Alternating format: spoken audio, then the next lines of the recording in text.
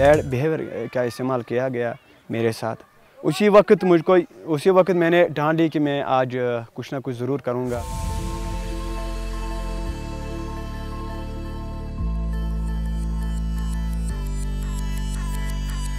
बहुत ही स्ट्रगल किया मैंने, बहुत सारे टेक्निक इस्तेमाल किया गया इस क्रिकेट में मैंने।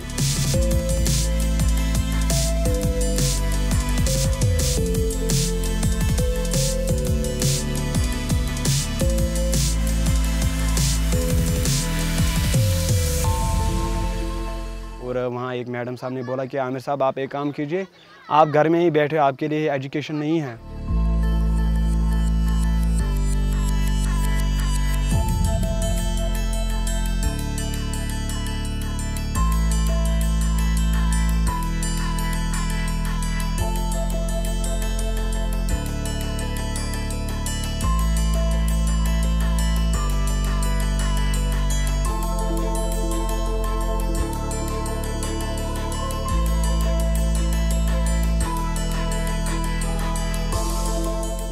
हार को मैंने कभी स्वीकार नहीं किया है।